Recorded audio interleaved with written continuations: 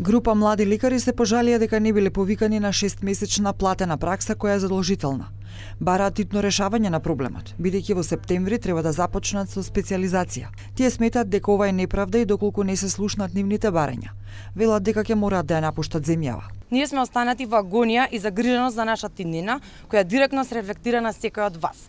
Секојдневно го слушаме парадоксот на нашиот систем, каде е очигледен недостатокот на млади лекари, а во исто време ние сме ставени во чекалната на институциите чекајќи вработување или платена пракса која не следува со закон.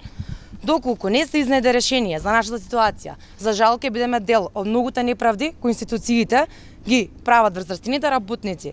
Иако си ја сакаме државата и сакаме да останеме тука, ќе бидеме приморани да ја напуштиме и да отидеме некаде каде што ќе се цени нашиот труд и знаење. Младите лекари освен институционална поддршка, бараат поддршка и од професорите и лекарите. Некои нивни колеги веќе почнаа со пракса, но другата група не се знае кога, бидејќи се дискриминирани како што велат тие. Дел од колегите ја започнаа платената пракса од 6 месеци, во итната медицинска помош и здравствените домови, додека пак останатиот дел се уште чекаме.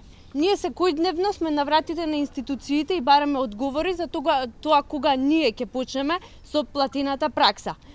Одговор се уште немаме Младите лекари додаваат дека направени се обиди од Министерството за здравство по средбата со министерот Илир Демири. Потоа до Министерството за финансии доставено е барање за решавање по итна постапка, но се уште немаат никаков одговор.